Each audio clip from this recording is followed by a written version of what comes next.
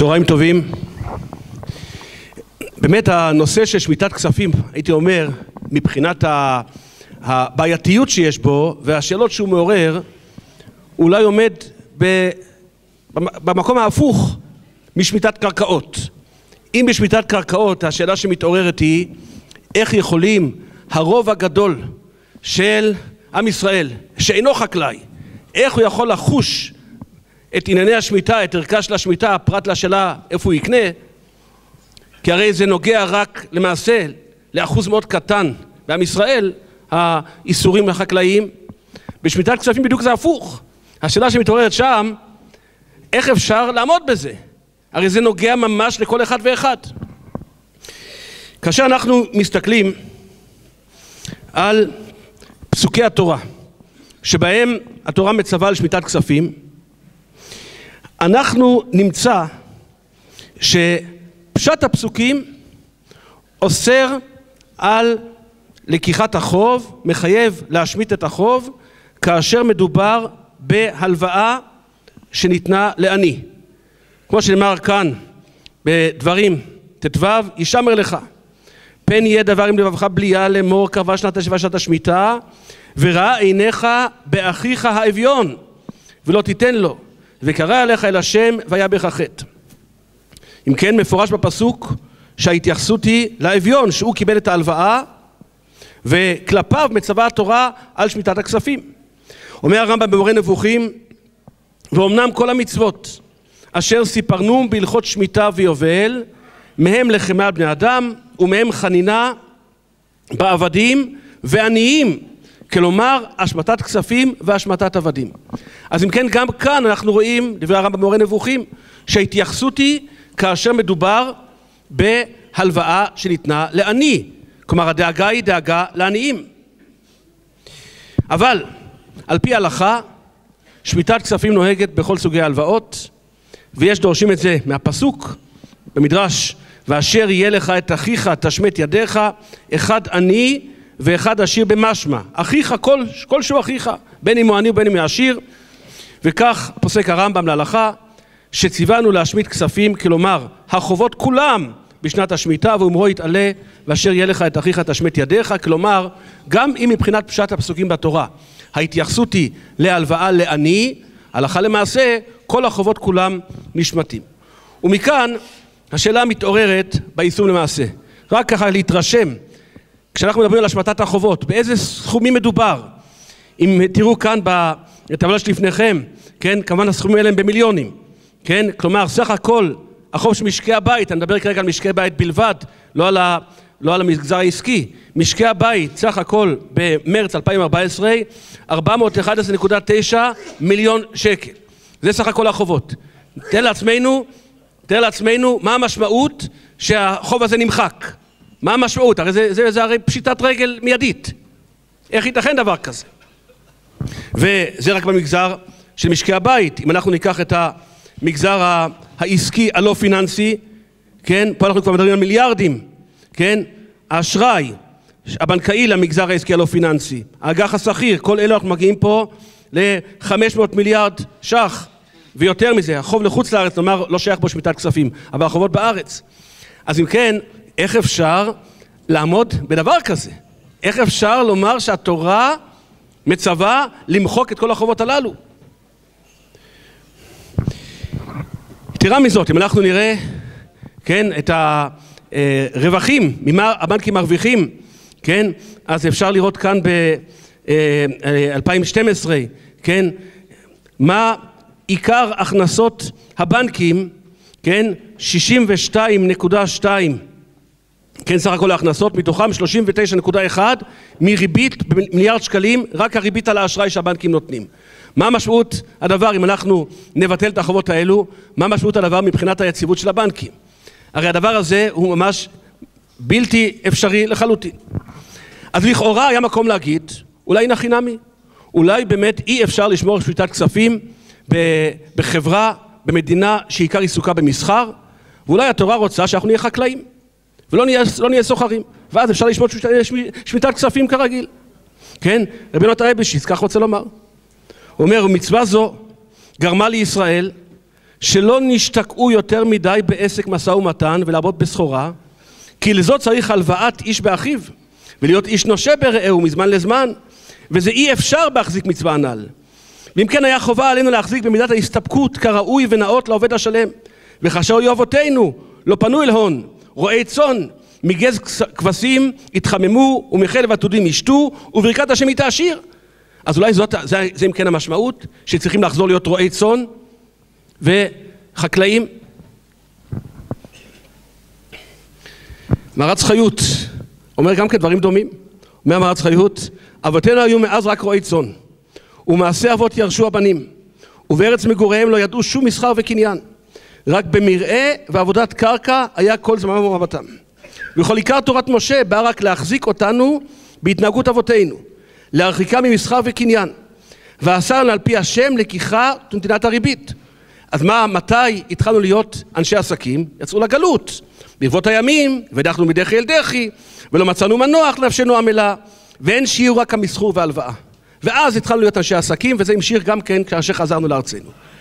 אבל לדעתי קשה מאוד לומר, למרות שיש כאלה שרוצים לומר כך, שהשאיפה של לחזור להיות עם של חקלאים, קשה מאוד לומר למעשה ש, שהדבר הזה ריאלי, שהדבר הזה אפשרי, שזה רצון התורה. ואז חוזרת אם כן השאלה, אז איך מתמודדים בעם שהוא לא עם של חקלאים, איך מתמודדים בחברה שהיא עוסקת ברובה במסחר, בהלוואות, בשוק ההון, איך מתמודדים בשמיטת כספים אה, בצורה הזאת. אז לכאורה יש פתרון פשוט, הפרוסבול. הפרוסבול. אז אם אנחנו נראה את תקנת הפרוסבול, למה היא נועדה, אנחנו נמצא שתקנת הפרוסבול לא נועדה לצורך עניינים עסקיים, ככה בפשטות.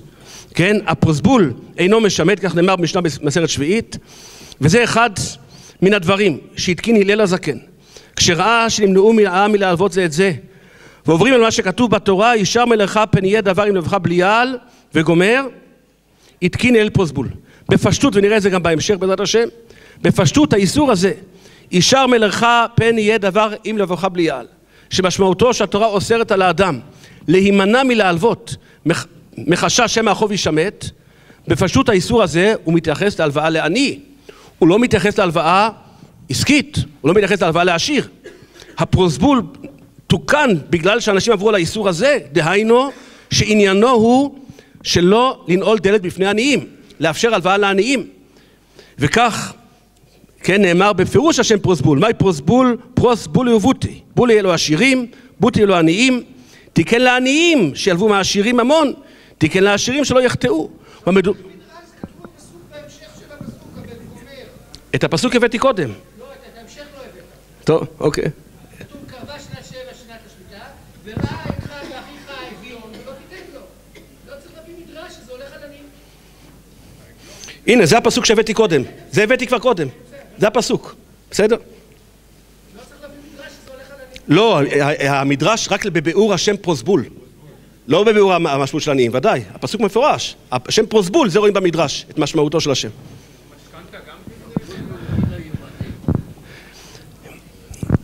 אני, בסוף, אם זמן, אני אענה לשאלות גם כן. לעומת זאת, הנציב, הנציב הוא מפרש אחרת. כלומר, למרות שכמו שאמרתי, על פי המקורות, הפרוסבול נועד לצורך עניים, לא לנעול דלת בפני עניים, אבל הנציב לוקח את הפרוסבול ומיישם אותו בחברה של אנשי מסחר. והמעניין הפירוש שלו לפסוק, אפס כי לא יהיה בך אביון, שאנחנו מבארים את הפסוק על דרך הפשט, אפס לא יהיה בך אביון, הכוונה היא שהתורה מברכת אותנו. אם נשמור שמיטה, אז לא יהיה בך אביון. אבל אומר הנציב לא. מה שכתוב אפס כי לא יהיה בך אביון, זה בעצם הגבלה על צורת היישום של שמיטת כספים. כלומר, כאשר אתה שומר ומקיים מצוות שמיטת כספים, קיים אותה בצורה כזאת שתדאג שלא יהיה בך אביון. דהיינו, אני קורא בפנים, לא יגרום השמטת כספים, שתהיה אביון. שהרי המלווה על מסחור, אם לא ישיב חובו, נעשה המלווה אביון. ואם כן, יש לעשות תקנה לזה. כלומר, מדובר פה שהתורה מחייבת לעשות תקנה למלווה, שהוא לא יהפוך להיות אביון כתוצאה משמיטת הכספים. והיינו תקנת הפרוסבול או למסור לבית דין. אז מעניין שהנה הפכנו תקנת הפרוסבול מתקנה שנועדה במקורה כתקנה לטובת העניים, שיקבלו את ההלוואות והעשירים שלא יעברו על האיסור להימנע מלהלוואה לעני, הנה כאן הפכנו את הפרוסבול לתקנה שהיא בעצם נועדה לאפשר קיום מסחר גם עם תוך שמיטת, שמירת שמיטת כספים. וזה מה שממשיך ואומר, ואם כן, אין הבית דין רואים להשמיט, אדרבה, בית דין נכנסים בעובי הקורה, שלא ישמיט ויהיה אביון, דהיינו שהמלווה לא יהפוך להיות אביון. כי ברך יברך השם וגומר, הקדוש ברוך הוא חפץ לברך אותך, ולא שתהיה אביון, ולכן תעשה פרוסבול, או תשתמש בדרך של מסירת שטרות לבית הדין, שהיא גם כן דרך שבעצם עוקפת את הצורך לשמט את החוב. אבל השימוש בפרוסבול יש בו כמה בעיות. הדבר הראשון, על פי הרמב"ם הפרוסבול אינו מועיל כאשר מדובר בשמיטה דאורייתא. כלומר זה יכול פתרון עכשיו, אבל בעזרת השם שאנחנו מתפללים שתחזור השמיטה להיות דאורייתא, אי אפשר להשתמש בפרוסבול לפי הרמב"ם. הרייבד חולק על הרמב"ם, אבל זה דעת הרמב"ם. דבר נוסף, הפרוסבול הוא תוקן, כמו שאמרנו, במקורו להלוואה לעניים, ודאי שהוא תקף גם בהלוואה לעניים. ואז אם כן אנחנו מפסידים, עם שימוש בפרוסבול, מפסידים את הערך של קיום מצוות השמיטה על מכל ערכיה כשמדובר בהלוואה לעני. מסירת שעות לבית הדין, שזה גם דבר שהזכיר הנציב, גם לגבי זה יש מחלוקת, האם מועילה בדאורייתא, לא מועילה בדאורייתא, אבל בכל אופן, למסור לבית הדין, שבית הדין בפועל הם יחליטו איזה חוב להשמיט, איזה חוב לא להשמיט, זה גם כן באופן מעשי דבר שיכול להיות משימה בלתי אפשרית על בית הדין. לכן, מהטעמים הללו צריך לחשוב על אולי על, על uh, פתרונות אחרים שיגיעו לאותה תוצאה, שהשמיטת כספים תחול כאשר מדובר בהלוואות שניתנו כחסד ולא מדובר בהלוואות שניתנו למטרה עסקית. צריך לשים לב שזה לא, הפתרון הזה הוא לא איזושהי עקיפה של אה, שמיטת כספים, אלא הפוך. אם אנחנו, כמו שהתחלנו, פשט הפסוקים בתורה מדבר על שמיטת כספים כשמדובר בהלוואה לעני, זה פשט הפסוקים בתורה. אומנם נכון שההלכה נפסקה שגם בהלוואה לעשיר חלה שמיטת כספים, אבל אם נמצא פתרון במסגרת ההלכה, זה דבר שדווקא תואם לרוח הכתוב, זה לא מתנגש עם, עם, עם רוח הכתוב אלא הפוך, זה תואם את פשט הפסוקים בתורה. מה הפתרונות שאפשר אה, אה, להשתמש בהם להציע בעניין הזה? פתרונות שיכולים להיות שייכים גם בדאורייתא ולא רק בדרבנן כמו הפרוסבול. הדבר ראשון, העובדה שיש אומרים ששמיטת כספים לא חלה על תאגיד, ותכף אה, נבסס את הדברים. הדבר השני, יש אומרים ששמיטת כספים לא חלה כאשר מדובר בעסקה, דהיינו בהלוואה שניתנה על פי היתר עסקה, הלוואה שהיא בעצם הלוואה בריבית על פי היתר עסקה, שעליה לא חלה שמיטת כספים. והדבר השלישי, התניה על מנת שלא תשמיטני בשביעית, ואנחנו נפרט את הדברים בפנים. אם כן, מה משמעותה של שמיטת כספים? התומים אומר דעיקר מה שהקפיד התורה הוא ללא יגוס אותו. דהוא משועבד גופו ונכסיו אינון ערבין. ובשביעית פטרה התורה לבל יכול לנגוס אותו והבקיע שעבוד הגוף. כידוע בהלוואה יש לנו שעבוד הגוף, שהלוי ומשועבד בגופו לשם את ההלוואה, ויש גם שעבוד הנכסים שלו, שהם משועבדים לפירעון החוב. אומר התומים, מה שהקפיד התורה בלא יגוס זה על שעבוד הגוף. כלומר, לבטל את שעבוד הגוף שחייב כלפי, שקיים כלפי הלויבה. אם אין שעבוד גוף, אם אין שעבוד גוף, אין לו יגוס. לא יגוס מתייחס למצבים שבהם יש שעבוד גוף. האם כאשר מדובר בהלוואה לחברה, יש שעבוד גוף? אומר רב מוישה פיינשטיין בשו"ת אגרות מוישה, התשובה שלו עוסקת בענייני ריבית, לא בענייני אה, פרוסבול, אבל הרעיון שלו, לפי דברי התומים, יכול להיות מיושם גם כאשר מדובר בענייני, בענייני הפרוסבול, בענייני, בענייני שמיטת כספים. אומר אגרות מוישה כך, סתם מילווה שבתורה ובגמרא, ובכל מקום שהוא עושה חיוב על הגוף הלוי ושישלם. יש שעבוד הגוף. אבל מילווה כזו, שאינו עושה שום חיוב על גוף האדם לשלם, שאף שיש לו ממון הרבה, הוא בגופו לא חייב לשלם, אלא רק הנכסים משועבדים, לא נאמר על זה איסור ריבית. וכן עניין הבנקים שבמדינתנו באמריקה, שגוף הבעלים של הבנק אינם מחויבים כלום לאלו שהניחו מעותיהם בהבנק, אף מזדמן שלא יהיה בהבנק מעות לשלם, שלכן ליקה איסור ריבית אף כשהבנק הוא של ישראל. כלומר לפי רב משה פיינשטיין, אדם שמלווה כסף לבנק, בריבית לא עובר על איסור. כי הבנק, החייב, אין שם אף אחד שהוא משועבד שיעבוד הגוף, כן? אלא רק שיעבוד נכסים. לכן, לפי רב משה פיינשטיין, אפשר לפתוח תוכנית חיסכון נושאת ריבית בבנק בלי צורך בהיתר עסקה. כן? זה לא מדובר על הלוואות שהבנק נותן ללקוחות, שפה הלקוח, הלויבה, יש לו שיעבוד הגוף לשלם. אבל כשה, כשאדם מפקיד כסף בבנק, לפי רב משה פיינשטיין, לא צריך בעניין הזה היתר עסקה, משום שאין שיעבוד הגוף של ה, מישהו, אדם, שהוא משועבד לפרוע את החוב, ולכן אה, אה, אה, אין על זה איסור, אין על זה איסור ריבית.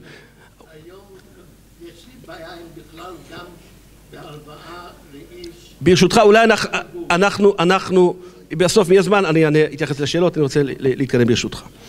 אם כן, לכן לפי הדברים האלו, אפשר לבוא ולומר, הוא הדין לגבי, לגבי שמיטת כספים. לפי דברי התומים, אם אין שיעבוד הגוף, אין על זה מצוות שמיטת כספים. ולכן יוצא שכל הלוואה שניתנת לתאגיד, שניתנת לחברה, שלא ניתנת לאדם פרטי, שבדרך כלל כשמדובר בהלוואות עסקיות, במקרים רבים, אולי ברוב המקרים, זה הלוואות שניתנות לתאגידים, לחברות, עליהם לא תחול שמיטת כספים. אז כבר פתרנו חלק גדול מה, מה, מהעניין, לפחות כשמדובר במגזר העסקי, והדברים האלו יכולים להיות נכונים גם כאשר מדובר בשמיטה דאורייתא, כמו שאמרנו. כן, כמו שיכולים לראות כאן בתרשים, כן, אה, אמנם האשראי שניתן למשקי הבית גדל, כשמדובר על האשראי הבנקאי, אבל עדיין המגזר העסקי הוא אה, תופס נתח הרבה יותר גדול במסגרת האשראי, ולכן אם אנחנו מתמודדים עם המגזר העסקי בתחום הזה של, שמיט, של שמיטת כספים, אז כבר אה, חלק אה, ניכר מה, מהבעיה יכולה, יכולה להיפתר. הדבר הנוסף הוא כאשר מדובר בעסקה.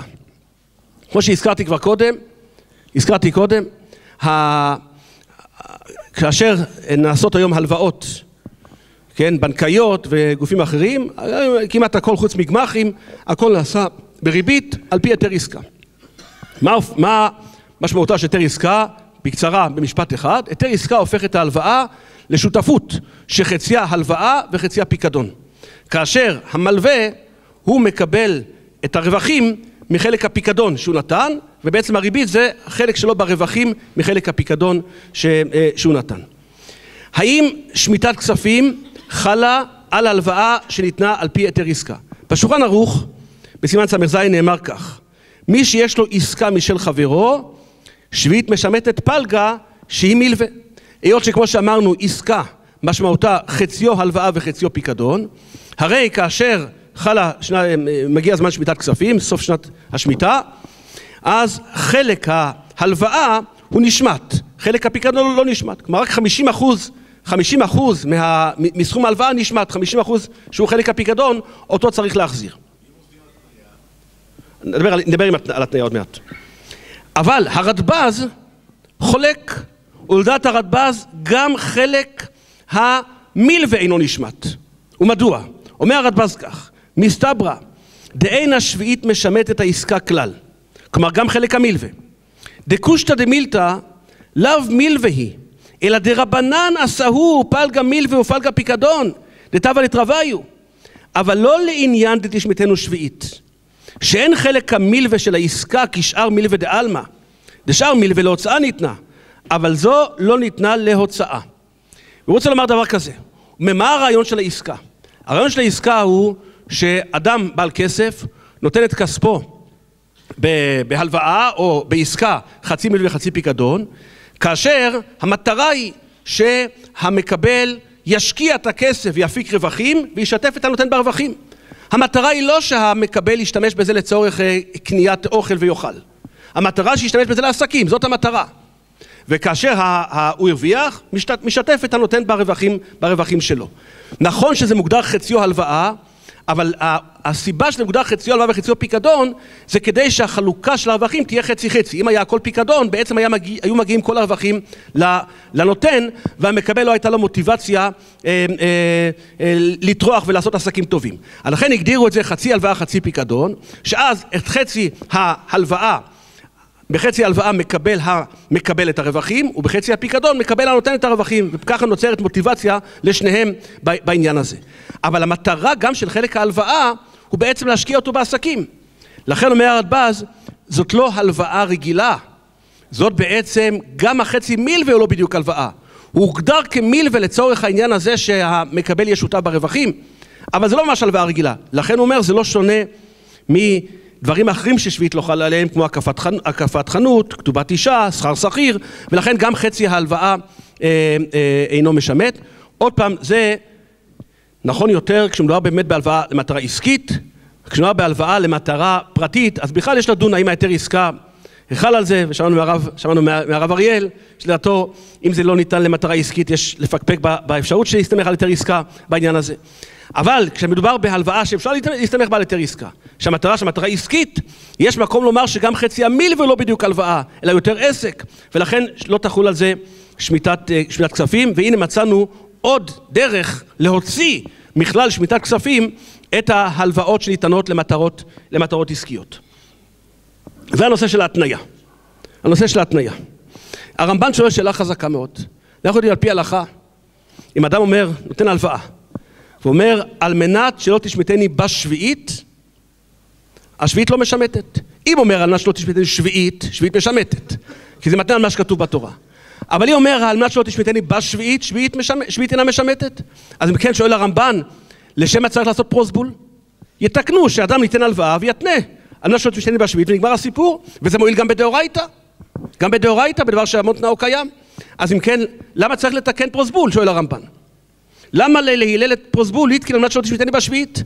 הרמב"ן מביא שתי, שני הסברים, שתי תשובות. אפשרות אחת, אי כולי עלמא עבדי הכי משתכח תורת שביעית ולפיכך לא רצה לומר להם אבל אשתא מינקרא מילתא עושים את הפרוסבול זה עושה רעש ככה במוצאי שנת השמיטה אז, אז ניכרת השמיטה אם יכתבו סעיף בכל הלוואה סטנדרטית לא שלא תשמטני בשביעית אז תשתכח השמיטה. אז לכן זה דבר ראשון. דבר שני הוא אומר דבר נוסף ההבדל בין התניה לבין פרוסבול שהתניה צריך לעשות בשעת ההלוואה. אם שכחו לעשות בשעת ההלוואה אי אפשר לתקן. פרוסבול אפשר לעשות גם אחרי שנעשתה הלוואה, אפשר לעשות גם לקראת, לקראת סוף שנת השמיטה. ולכן זה התירוץ השני שלו, בשעת ההלוואה זימנין דלא דחירי וכיוון דפס דכלל איכא נילה דלת אבל כשהלוו והגיע ערב שביעית כל אחד הולך וכותב לעצמו ולכן התקנה של הפרוסבול עדיפה על ההתניה. זה התירוצים שמתרץ הרמב"ן אבל מצאתי גם הסבר נוסף מעניין כן? מחודש אבל אומר כך. אומר שאם מדובר בהתניה, מה קורה אם אדם אומר, אני מוכן לתת לך הלוואה, אבל אני רוצה להתנות איתך על מנת שלא תשמיטני בשביעית? והלוי ולא רוצה לזה, הלוי ולא רוצה, אין לו ברירה, הוא חייב להסכים, אחרת לא יקבל את ההלוואה. בעצם המלווה כופה על הלוי ולהסכים על התנאי. האם זה מותר לפי ההלכה? אומר כך, כשבא הלוי ולהלוות, והמלווה לא רצה כי אם בתנאי שלא ישמיטנו, והלוי לא רצה להסכים לתנאי זה, ומתוך כך נמנע המלווה מלהלוות לו, מיד עובר על ישמר לך. כלומר, כלומר יש פה אם כן מצב שיש חשש שהמלווה יכפה על הלווה להסכים לתנאי בלי רצונו, או שלא ייתן לו הלוואה, ואז הוא עובר על האיסור של ישמר לך גם כן, ולכן האפשרות הזאת גם כן לא, אה, לא תועיל, לא תועיל, אבל, אבל, כמו שהזכרנו גם בתחילת הדברים, מפורש גם בשערי תשובה של רבנו יונה. אתם רוצים למהר כי צריך לסיים כבר תכף? מפורש בכל אופן בשערי תשובה לרבנו יונה, מפורש ברמב"ם הלכות מלווה לווה, בחינוך, שהאיסור שישמר לך הוא כאשר מדובר בהלוואה לעני. הוא לא נאמר כאשר מדובר בהלוואה לעשיר. הוא לא, מדובר, לא נאמר כאשר מדובר בהלוואה עסקית. יוצא מכאן שכאשר מדובר בהלוואה עסקית, יש מקום להתנות תנאי. ואם לא יסכים, לא יסכים הלויבל לתנאי הזה, שלא ייקח את ההלוואה, והמלווה לא יעבור על שום איסור. בהלוואה לעני, שם אין אפשרות להטות את התנאי. ולכן, פה באמת יצטרכו לשמט כפי, כפי הלכה. אני ברשותך רק, הרב אורי לוחץ בי שאני אה, אסיים, אז אני... אני צריך להגיע עוד לגולן אחר כך גם כן, אז... כן. אז ה... יוצא מכאן, ראינו אם כן, ראינו אם כן שלוש דרכים. שבהם אפשר לגרום לכך שבפועל שמיטת כספים תהיה רק הלוואות לעניים ולא תחול על הלוואות עסקיות. ושלוש הדרכים האלו יש להם נראה עדיפות על עניין הפרוסבול משום שקודם כל הן מוציאות מן הכלל את ההלוואות לעניים, כלומר הלוואות לעניים חל עליהן שמיטה וגם הן יכולות להיות טובות גם כאשר מדובר בשמיטה אה, דאורייתא וכמו שאמרנו זה מתאים לפשט הכתוב. ונסיים רק בנקודה מעניינת ש... לכאורה נראה אותו דבר גם כשמדובר באיסור ריבית. כי גם הפרוסבול וגם היתר עסקה, למרות שיש פער גדול בתקופות שבהן תוקנו, היתר עסקה לפני כ-500 שנה, הפרוסבול זה הלל הזקן, אבל בעצם שניהם בעצם באים פה לעקוף אה, איסור תורה, או מצווה מן התורה.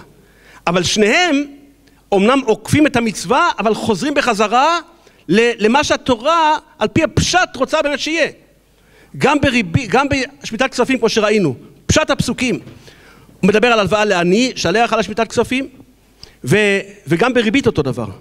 בריבית, וכי ימוך אחיך ומטה ידו עמך והחזקת בוגר ותושב וחי עמך, אל תיקח מאיתו נשך ותרבית ויראת מאלוקיך וחי אחיך עמך. אם כן, מדובר פה על איסור הלוואה בריבית לעני.